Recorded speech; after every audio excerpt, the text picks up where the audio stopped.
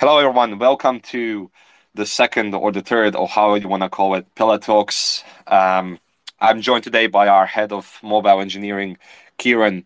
But Kieran so far isn't a speaker yet. So, Kieran, just let me give me a second just to check if you're invited. Uh, it says to me that here you are invited to the stage as a speaker. So, whenever you're ready, just hop on in. Uh, in case we have some problems, we're gonna solve that in a moment. I do. Um, I see a lot of you people have joined already, but for those who are perhaps listening us from YouTube, um, hello, welcome to the call again. Just let me see. Just let me see. Kieran says he did request to be a speaker, uh, so I'm just gonna like invite him again. Let's see. Add speakers, and the speaker would be Kieran. Here we go. Uh, Kieran, I sent you another invite. Let's see. Yeah, I've got it. Here we go. I'm in. Welcome, welcome to the stage. How you doing? I'm good, mate. How are you? Yeah, doing good. Pretty excited. Yeah, me too. Had me some good numbers today as well. Yeah. Yeah. So let's do the introduction and we'll go on right into uh, UX. So for those who are unaware of what we do on these pillar talks or what we do on these talks in general, we pick a certain topic that's happening in the Web3 space. Uh, last week we talked about account abstraction. If you are curious about account abstraction, since it's a very hot topic, we have the recording on YouTube, so you guys can go to our YouTube channel and check it out. I was joined by our uh, also one of our team members, Alden, and we had a pretty good discussion about account abstraction and what it means and all of the EIPs and everything. So we'll whittle it down, made it simplified for users. And uh, that's something we're going to do today as well. Today, our main topic is UX, and the title is How UX Will Drive Web3 Adoption. So, UX is obviously a fundamental part of any um, web experience. Web 2 or Web 3 doesn't matter. UX is like one of those things you cannot avoid, and it's very important. And we'll be talking about why it's so important today. That's why we're joined with our head of mobile engineering, Kieran, today. So, Kieran, um, you said hello, so maybe we should just get right into the thing. Um, let's compare what's been happening. You know, the dawn on the internet has been there for a lot of years now, but Web3 is still relatively new for many, and people are still onboarding onto Web3, but they have some problems, and we'll be talking about them as well. But for comparison, maybe not um, UX specifically, but let's compare Web 2 and Web 3. Like, what are some of the differences? What's been going on with Web 2 in the past, and what's going on with Web 3 right now? So let's go step by step. Yeah.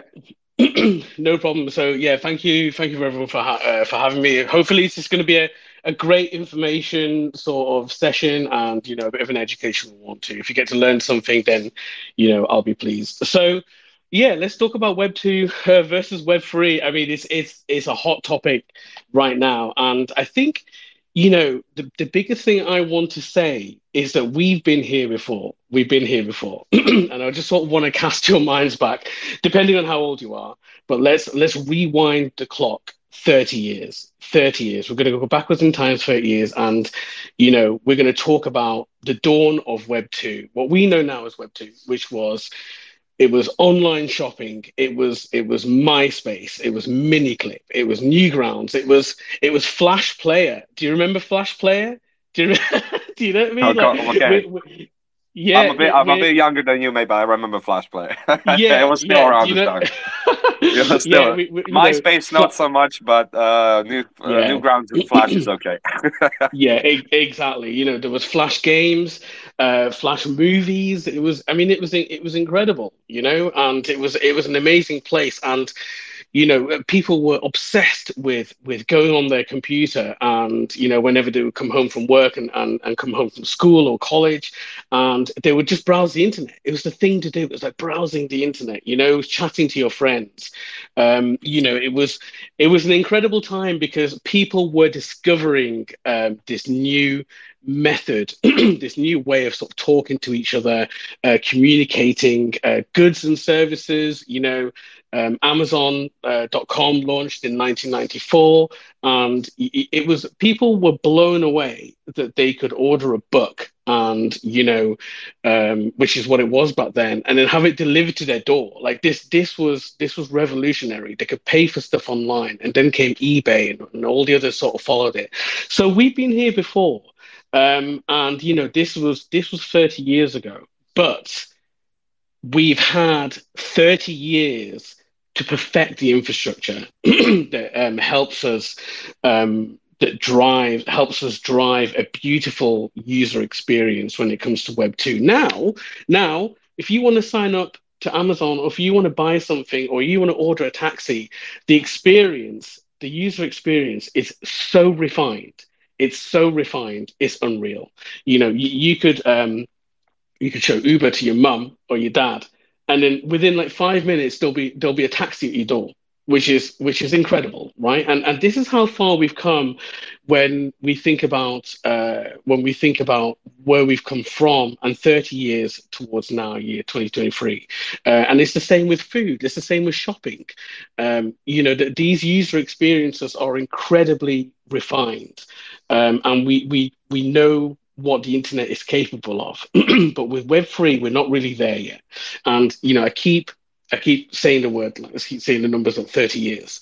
And this is purely because um, we've had that amount of time um, to perfect the infrastructure for goods and services, um, to perfect uh, their delivery systems and, and what have you, in order to be able to deliver a, an incredible, fast, you know beautiful almost natural user experience to users. And uh, and this is what we are trying to achieve now with uh, with web3 um, so yeah so so it's, it's an interesting comparison web 2 versus web 3 it's almost unfair as well but this is where we are. Right. Yeah but when we're talking about web 2 versus web 3 uh, do you have like an example we can use because yeah. you, we've been talking about the history of Web2 and everything. Web3 is still relatively new, but like if you could do a direct comparison, perhaps, or something like that, to, yeah. to make it easier for people.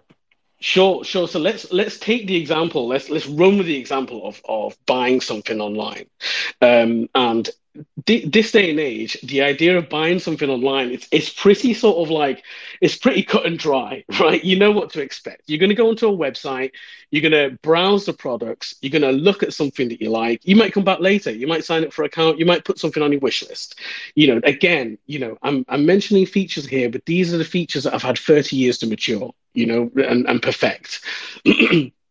so we get that. Uh, then, you know, we go through the checkout process. You know, we put in our card details and our address and we pay for it. The infrastructure for that has had that amount of time to to mature and to develop and to become easier over time. You know, hundreds of thousands of people will have worked on that over the course of 30 years. Um, and and eventually, you know, the, your, your parcel or whatever it is you've ordered will be handed over to the postal systems, which again have had time to change their systems, to improve, to look back, uh, change the old stuff that wasn't quite working, to adopt for this day and age, and then eventually it arrives at your door. Let's try and compare this now with um, with a Web3 experience. Now, in a nutshell, it might work something like this. And I'm just sort of like making this up as I go along now, but there might be an online shop of sorts in the same way. Um, the online shop to verify your identity will um, will will ask you for a signature from your wallet. Now, depending on how you've set this up, I mean, I'm going to presume that you've had to install a uh, you know a plugin called MetaMask, which most of us, um, if we know the space, will will know what MetaMask is. Um, at this point, I mean, this is already a point of friction. They have to go and find uh, they have to go and find this. They've got to go and find it, and then they've got to install it, and then they've got to set it up. They've got to write down the 12 words. Um, they've got to note it. They've got to put the 12 words back into MetaMask to ensure. Then they've got to create the account and ensure that they're on the right network. Already, already, this is too much. This is too much. This is a nightmare already. Um, and then they're going to continue buying their product. Let's say they've got that. Then they need to find their funds that they want to buy. Let's say they found something they want to buy. Um, they're going to have to go to an uh, an on ramp provider, and what this is basically they'll take these will take your traditional card details, and they will let you buy whatever cryptocurrency is needed um, to to purchase that product on the shop, for example, and then they'll deposit into your into your account in MetaMask. Once you have that, I mean, already already this is crazy, right? And then once you have that, you will need to um, approve several transactions probably along the way during your journey just to make sure it's still you. Um, and this would come up in the form of like pop-ups over and over and over again. Um, some of you will will will be listening to this and thinking yeah it's all about it's all about the pop-ups you know? It's it's like something we've managed to get rid of in the web 2 era we've got it again in web 3 pop-ups. So um, and then eventually you, your transaction will be made and the transaction is complete. But but just compare that to to how i explained the web 2 flow right? Something isn't right. So well a lot isn't right at this moment in time. Um, and again you know we, we are we are just starting to really um, realize that we need to take UI and UX quite seriously in terms of like web3 interaction. But you know, if you were to do a direct comparison of all the points I just mentioned, there were probably about 10, you know, friction points compared to maybe one or two that you would have um, in a in a Web two, you know, shopping experience, right? So, so this is so this is this is where we're at. This is where we're at when we talk about Web two and Web three, and this is what we need to change. You know, um, I obviously know how hard this is sometimes, but having you talk about these steps one by one, you know, they they make it seem so confusing. For the it's like I've been using this for years, right? And when you when you present it to me like that, you know, it sounds like I don't want to do this anymore. It's just yeah, I know, insanely it's, hard, right? And now imagine that, imagine trying to explain this to your dad. Uh, like, okay, well, there's this uh, cryptocurrency you need to use, but you need to do like 50 more steps, right? And it's probably more expensive. yeah, so, yeah, exactly. Good luck. yeah, good luck. Exactly. You know, it's it's, it's really frustrating. You know, and uh, it's it's boring as well to to, mm, to have yeah. to sort of go through all that. Yeah, right. But there's there's a thing like Web two uh, been here long enough, so Web two has learned from its mistakes. They basically got rid of all the unnecessary steps. They got rid of all the you know extra stuff, the redundant stuff that doesn't need to be shown to the user that's basically good UX. But um, how do we know this good UX? How do we know this bad UX? Like, how what happens first? You know, when you are just a yeah. regular user, how does that happen? well, let yeah, let me talk. To, so, so it's really important to to highlight this particular fact about UX. User experience is is is very human and is closely tied to our feelings. You know, a good UX um, invokes great great feelings of like happiness um you know you feel good you feel like you've accomplished something um you know it's it's generally improved your mood it's it's very um you, you know the two UX and, and human emotions are very cohesive. If you can create a great UX, you'll often make people happy. And this is this is so powerful. I, I cannot stress to you enough how powerful it is. Let me give you let me give you, um, you know, the opposite side of that coin. So let's say you've got a bad UX and you go to a website and the user experience is terrible. It's rubbish, right? And it's just something that you struggled with, you know, uh, you had lots of steps, you know, I'm sort of echoing what I just said. Um, you had lots of steps. It was frustrating. It took some time. You know, do you come back to that product? No. Yeah, unless unless it's really good, unless it has a really good catch, you know, like yeah, seventy percent off. exactly, exactly. Yeah. Most most people do not come back. They do not come back, and they'll go somewhere else. And the worst part is, is um, bad emotions tend to affect us. And you know we remember bad things because just it's it's just human nature. We remember the bad things more than we remember the good things. So you'll often find that bad experience ripples um, uh, through you know communities and and you know people talk about bad things and they they prefer to talk about uh, good things, right? And this is not just this is not just UX, but this this works with anything. It's just human emotion. So this is why I'm keen to highlight um, the, the the sort of cohesion between user experience and how it makes you feel, but then the knock-on effects of that as well.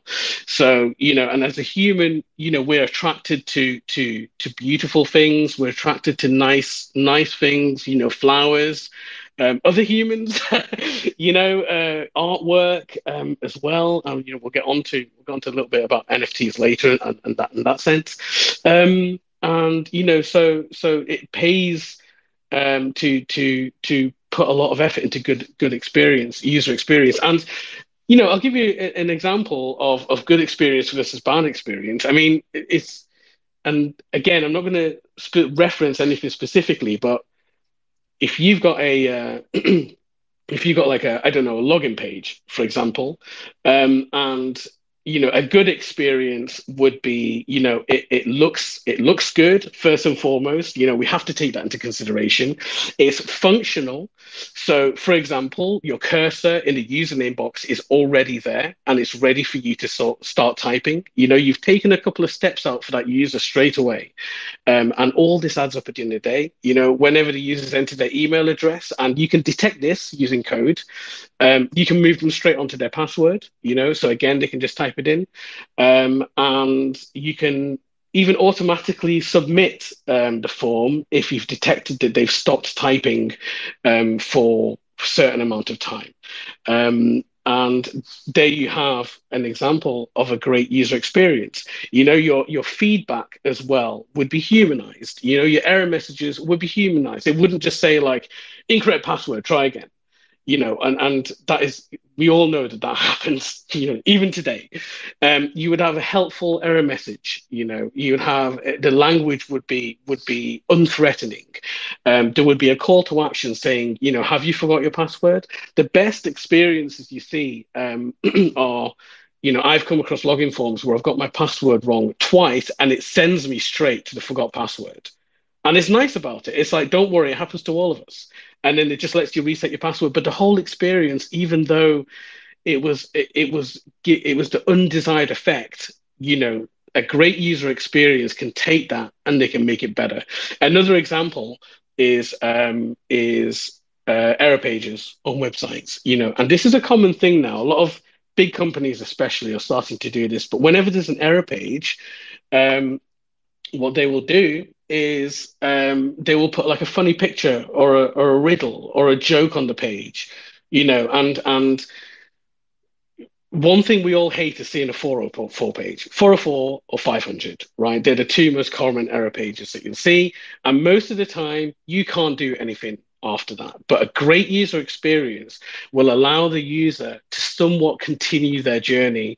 And if they tell you a joke or something on that page, then it immediately it immediately, and this works on me, it immediately just makes you feel better. It, you know, and it, it negates that whole idea of um of oh this is this brand is rubbish you know oh these guys don't know what they're doing um it immediately just kills that feeling entirely and it saves you it saves you as a customer as well. You know, you'll keep trying to shop. You'll sort of feel sympathetic. Um, again, coming to that idea of of feelings, um, and and then you will just continue continue as you were. So you know, that's that's a that's a night that that's what good UX is.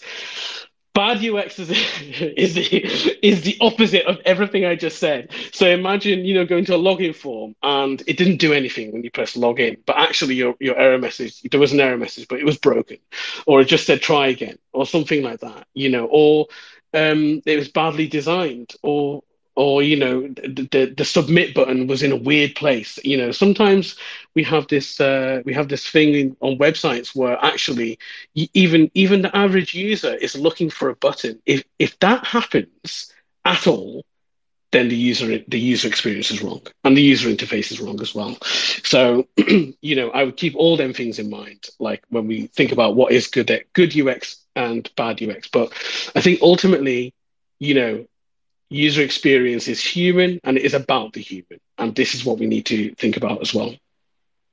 Right, right. I was just about to ask, like, so the secret ingredient to good UX is the human touch, right?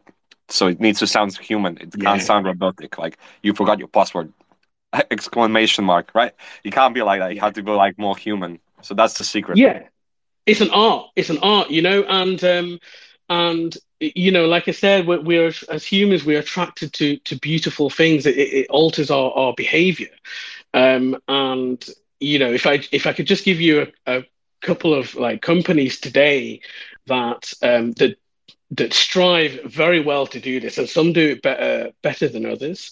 Um, you know, let's talk about you know Microsoft, Apple, and Google, the, the big three. You know, um, the, these are these are household names. Uh, we we use their products every day. um, some without even knowing it. You know, Microsoft, we've got like ChatGPT, Apple, we've got the iPhone, uh, Google, we use Google search all the time, all the time. It's ins- insane, and Android as well.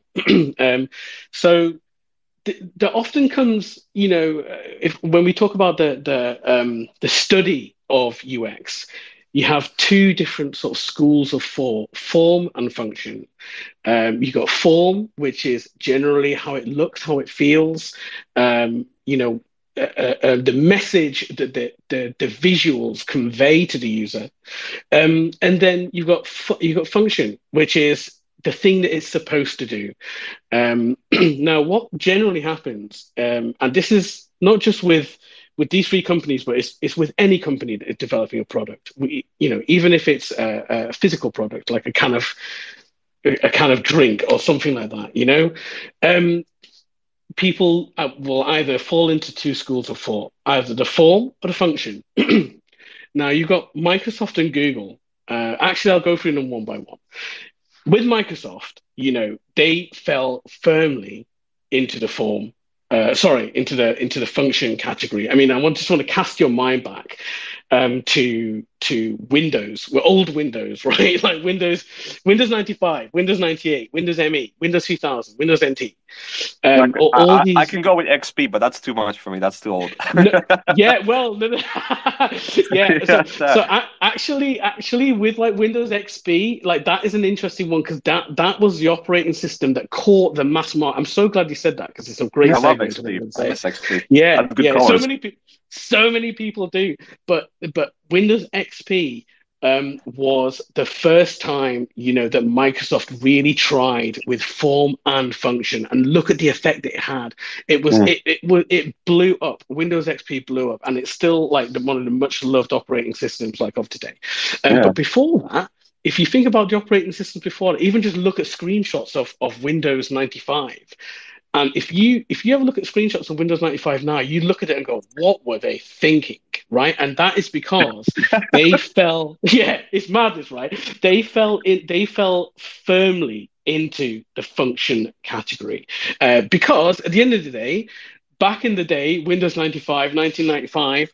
Um, you know Microsoft was run by a massive bunch of nerds, uh, and they, they will they will um, they will f- they will fall into the function category. Um, then you know, so this only now, of course, you know, form and function is is what the what everyone strives for. However, take the opposite end of that, Apple. So we all know Apple for um, you know the the the iPhone, um, OS X, MacBooks, MacBook Pros, and stuff, and and it's inherently different. You can look at these products and and you can feel the DNA of these products is different.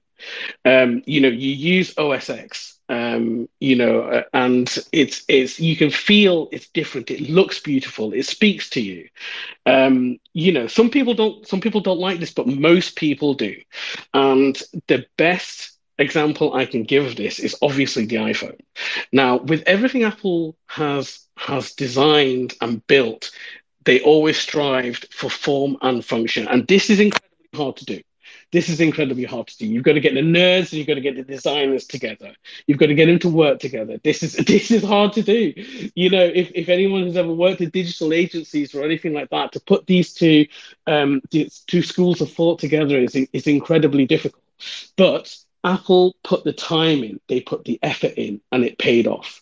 Um, because you know, well, you know, they don't have the biggest market share now, but back, but they managed to bridge that gap between technology and, and humans. That you know they made everything beautiful. They made you want to really want to use it and and you know anyone could pick it up and go oh that that looks nice. What's that? And um and actually i'll tell you a quick story about um about when Apple was launching the the uh, the iPhone and they were going around. Um, there was a period in you know before the iPhone one launched, and they were um, they were going around sort of buying up patents. Um, and one of the patents they bought was for the capacitive uh, touchscreen. And I watched the you know a, a, documentary about this, and it was it was fascinating. And um, and the guy uh, that sold, you know, the patent um, for the capacitive touchscreen, which is what we all know today is like the standard, um, uh, you know, when he when he when the lawyers came and he signed it all over under pressure, you know, from from their lawyers, um, I think he the device that he developed, he just he threw it against the wall and it just smashed to bits. Anyway, months later, months later, you know, he he got a um, he got an iPhone. He, one was given to him, you know, probably you know probably by by Apple or someone that works there, you know, just to see what they've done with the technology, his technology. Um, and his daughter, his daughter was playing with it. And that night before she went to bed, she said to her dad, you know, she said, Oh, can I take the magic phone to bed with me? And if you can have that amount, that effect on on someone, then you've won. You've done it, right? You've done it. And and that is just an interesting, you know, this this this girl didn't know anything about about technology. You know, she was too young, but she she felt drawn to it. She felt attracted to it enough to sort of think it was like a teddy bear. You know, and she wanted she wanted to sort of take it to a bed. So so that that just goes to show the the powerful human effects that that you can that you can create if you get the form and function right together. Um, so and then just moving on to Google. Uh, Google fell into the same trap that Microsoft did. Um, you know, we think about the first versions of Android; they were god awful. You know, um, don't, don't remind anyone. Let people forget yeah. about those. yeah. Remember, remember the stylus? Yeah, yeah. We've we've we've we've come a yeah. long way, baby. yeah. um, so Google, you know, Google were god awful. Everything was terrible as well at Google. And again, they fell into the same trap that Microsoft did. They went for function. It, you know, Google were famous for for hiring um, turbo nerds, right? And uh, they, they were famous for it. So they didn't understand, like, well, why do we need beautiful design? We'd rather have it work, you know, which is which is true to to an extent. Um, and it was uh, it was only later on, much later on, Google hired their first designer and um, you know they they were super late to the game, right? Mad late they were. And uh, but when they did, you know, things started to change. All of a sudden, Google search started to look better. They started to take their typography seriously. They started to take their, uh, you know, image density densities and stuff like that seriously. They they started to take it all seriously. And then now they've found it's taken a long time for Google, given that they are an information company. Um, but now they have found, and actually, I would say that they are pioneering um, the design space with uh, material design and material you, um, and they've they've done really well. But they, they are like the latest to the party uh, for sure. Um, so yeah, there we go. That's how. That's that's a little history, a little bit of history in terms of like how modern companies today came came to good UX. Oh wow, you know the the story about the uh, touchscreen. I didn't know. I didn't know about that. That was uh, that's a yeah. pretty good story. It's a pretty yeah. great story. Oh, oh, always sticks with me. That does, you know. Yeah, yeah. Uh, okay. So we talked about we did a lot of uh, history of Web two, right? But we didn't go too much into Web three. We just we just said it's very hard.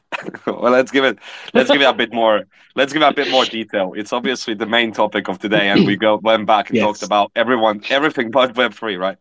So let's yeah, stick to yeah. Web three for now. Uh, what's going on with Web three? What do we have right now? What's going on with uh, UX in Web three right now?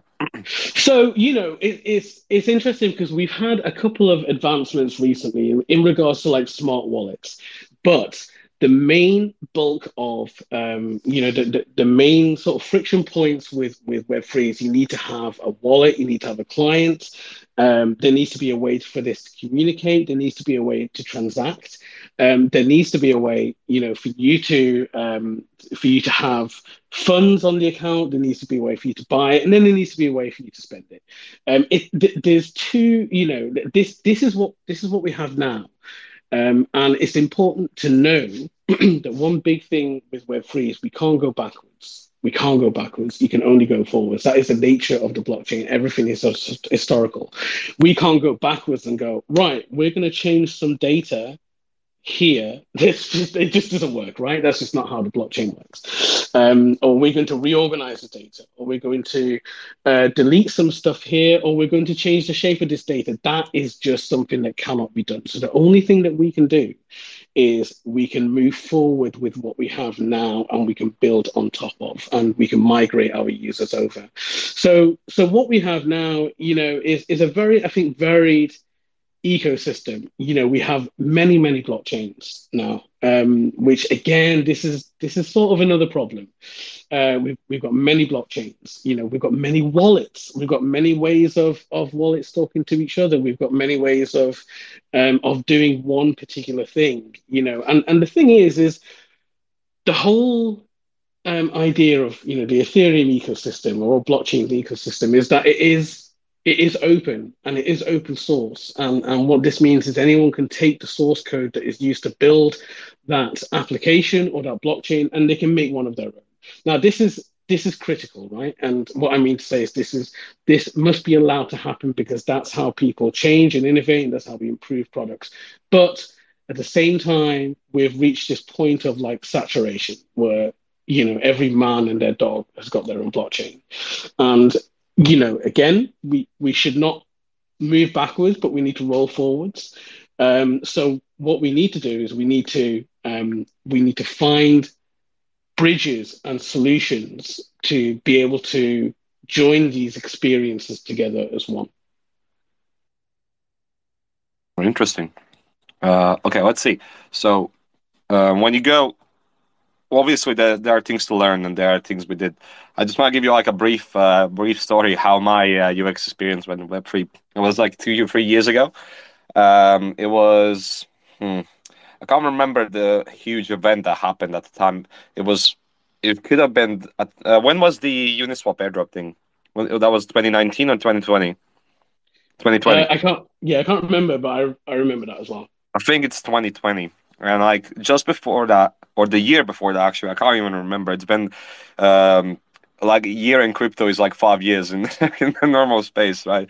But um, I remember doing like a transaction the first time, and I I had like zero knowledge, and it was on Ethereum, and the fees weren't too high, so it had to be like a three, four, five years ago, right? Because today I would notice the fees, but um, and I tried to do like a simple transaction. I tried to provide liquidity. I was teaching myself how liquidity works, and um, I was like, okay, so I need to do 50% of this, 50% of this. And I went to swap it uh, back in Uniswap. And I um, I assumed I did the swap because I pressed approve. And then I figured out like two hours later that, you know, the transaction went through, but that wasn't actually for the transaction. It was just yeah. for the token approval. so I was like, well. okay, but why, why did I pay money for this? And that was my, I, I was already like, okay, I hate this stuff. I, I, I don't want to yeah. do this. And, uh, yeah. uh, you know, lots of lots of things uh, can yeah, I can just imagine how it goes for normal users. Like this is me. I was a normal user back then. I guess I'm a power user in a hash uh, now because I've been using crypto for two years, so I'm pretty used to all this stuff. But like first time having this experience, not so well, not so good. Yeah, I don't know. Yeah, and and you know it's it's interesting because that same thing happened to me. I remember it. I remember it. It wasn't on Uniswap. It was something else. But that same thing happened to me. I did not know what approval was right? No mm. idea what an approval was. Um, and I didn't understand that you had to like authorize, you know, Uniswap to spend your funds. Like it, people don't know this. People don't know this. Can you can you know. can you give us like a like a how how do I say this? What does what does the approval even do? Like there's people today who probably don't know what it does, right? And why yeah, so an, uh, yeah, uh, basically, an, an approval it's a protection mechanism. An approval uh, will give another smart uh, uh another app right? See, I'm dumbing down my words here just on purpose. It will yeah. give another app permission to spend your money. That's what it does in a nutshell. Uh, and then, and then after that, you know, that app can go ahead and move some funds around because you've already said ahead of time, yeah, this app can spend X amount of, you know, X amount of funds. Go ahead. So that's what that's what an approval transaction is. Right. So um, What's uh so we talked about all these stuff like um but we in the meantime we kind of fixed this approval thing with batching transactions and stuff like that. This is getting more and more adapted in the space. So I guess we can say that we kind of improve the experience for the users, especially once they have to skip they don't have to do this stuff manually. It happens, you know, in the background. Yeah. Um but what's still missing? What what do we have like compared to a couple years ago when we both did this mistake? What do we have now and what like what's still missing? What needs to be done so, if we want users so to like have it easy job? Yeah. So so first of all, I mean, you know, um, I, I, would say what's still missing is is you know seamlessness and cohesion is is still missing. You know, the the the fluidity between the experience of you know, um, or um, uh, making a transaction, making an approval, swapping, um, it still re- it, it still requires um, friction points, like pain points, really. Um, you know, it still requires you to do things. It still requires you to approve stuff. Uh, again, you know, like you've mentioned, with the advent of like you know smart smart contracts and and um, you know smart wallets and being able to batch stuff together, we've we've come some part of the way, but not everyone is using such advanced wallets that they can um, they can take advantage of this. Um, and you know, we've we've we we've also um, and it's it's important to note that we've also improved the UI and UX layer a lot as well. So, for example, now you know on Uniswap, for example, or or, or 1inch or the other or one of the other dexes, like you know, it, they now give you clearer instructions about what's going to happen and when it's happening, and they usually will show you a progress bar. So we've we've we have really come a long way, um, but there's still you know uh, there's some things that we can't change, such as like uh, you know um, a pop up for approving transactions, and maybe uh, with enough innovation and time, again coming back to that whole 30 year mark, um, we will eventually develop solutions that will become adopted by technology companies that will allow this friction to slowly but surely be eroded. Um, so, you know, this is, it, we really have to give this time, you know, um, for this to, for this to, to sort itself out. Right. And um, you mentioned 30 years. It still hasn't been 30 years, and it's been it's going to take some time until we get to the 30 year mark. But like, what will get us there? I think we have a secret weapon that we're going to introduce on April 4th, and you can perhaps even mention it now. Uh, but like, how do we get there from right now, where it still isn't? Perfect? Well, yeah. So first, first and foremost, you know, we need we need great UX. We need great UI.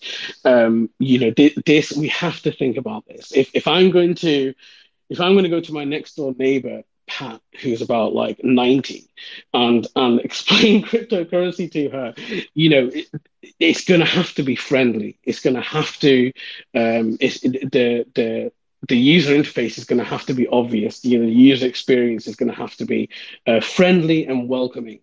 Um, another thing that we haven't we haven't touched on, but this needs to change, is the normalization of terminology. So the amount of times, you know, that that that I ex- try to explain, and I fall into this trap as well, but I try to explain stuff to, uh, you know, my wife or, or my son or my friend, and um, and I'll start dropping words that they have no idea. You can see I've lost them straight away. I start yeah. dropping words like, like you know, smart contract. Or, yeah, yeah, yeah. My son, my son's like, "Shut up, you nerd," and and. Uh, you know, I start dropping words like, you know, smart contracts and transactions that you can see that they're just turning off. They don't get it. They don't know what this is. They, they don't yeah, I can see their faces right now. yeah, yeah, right. It, Exactly, and and one thing that we really need to do, you know, great UI and UX is one thing, but we need to talk to these prospective users, that, and we we want these people, right? We want to onboard the next billion people on, on onto on, on into this ecosystem, and in order to do that, we cannot we cannot alienate um, you know, people ever. You know, we, we have to dumb it down um, and we have to explain it to them in a way that they can understand. Otherwise, they will just be like, well, this is just too complicated. And they'll close the app, they'll uninstall it, they'll never come back. And they'll they'll stick to their Web two world that have that have perfected this as an art. You know, I can't I can't go to my dad and I can't drop words like smart contract, gas, externally owned accounts, zero knowledge proof, roll ups, L0, L1, L2, 12 words, private keys. Do you know what I mean? I can't, I can't, I can't, wow. you can't go to, you know, people that you know and explain it with because they will have no idea what you're talking about. And the first thing you do is you alienate them, you make them feel bad, uh, and they just again, coming back to the, the human emotion side of it, um, you make them feel bad and they don't come back. You're done. You've lost them. Right. Yeah, I still I still have trouble uh, teaching my older folks. Well, no, my parents they're pretty good with technology, but like uh, grandma, grandpa, you know, they this they were still struggling with like touch screens. so yeah. how do you get how do you get from a touch screen into like uh, crypto? I don't think I don't think it's going to be that easy. But yeah. there's hope for the you know the not the younger generations, but like for them up until sixty. I think it's it's possible that they'll they'll be there in a time where this is super simplified, right? Yeah, I completely agree. Mm. Yeah, we just need to give it time and innovate. Right. Now, what kind of innovations do we need for these guys? For, not for these guys, like for, like what what kind of innovations do we need uh, in the space for everyone to be like, well, you know, I guess this was hard before, but they kind of explain it good now. I think I want to so, do this. I yeah, want to try this yeah, out. Well, let's yeah well it's it's that's a that's a great question and you know innovation comes is born out of creativity and and a need um so you know we can talk about um, uh, NFTs, NFTs and gaming. You know, these these are two great categories that um, lend themselves to, to bridging, um, or you know, br- bridging that, closing that chasm. You know, like yeah. crossing the chasm, as they say. You know, and um, between the Web two world and web free world or between the normal people and the nerds right? And it's it's it's, it's interesting because nothing did that better than nfts and i'm giving you an example of something that that was an, innovation. You know yeah, we, we took but, you know... we took a token standard and then we we basically um we we we turned it into something that was universal across both web 2 and web 3 and this brought so many people so many people on you know into the web free space. And these are the sort of uh, mechanisms that we need to keep innovating on in order to keep bringing people over. And they will be novel. They will be novel and they might be silly right? They might be mm-hmm. weird and silly but but the point is is that they bring it over. I mean i re- you know um, when when the iPhone launched, you know, there were stupid, weird apps in there, and you know, there were just like ones that like you, you pressed a button and it made like a fart noise, you know, and and this exp- this app exploded. Now, obviously, Apple obviously don't want that sort of app in there, but they understood at that moment in time that they need to onboard people to that technology, and inadvertently, um, at the same time, that that app was showing was demonstrating the user interface and the possibilities to new users. If you try to submit an app like that now you get banned right? Straight away. Yeah. So yeah. But back then you know these these things were novel and you know they made people laugh. And and and from that point it's like oh well what is that? What is that that you've got there? How, how are you doing that?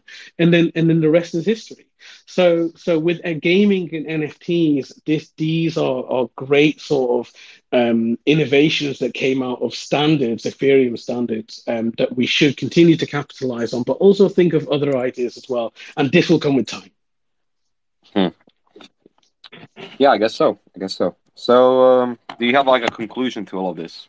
I guess we're nearing the end. Yeah. What, like, how? Well, I can tell you. I mean, what do I think a perfect world looks like? I mean, yeah. Yeah, I mean, I think a, a perfect world, you know, is where users, no matter who they are, um, can't tell the difference between something that's that belongs to the Web two world and something that belongs to the Web three world. You know, the, these technologies they they will work together. They will feel the same. They will act the same.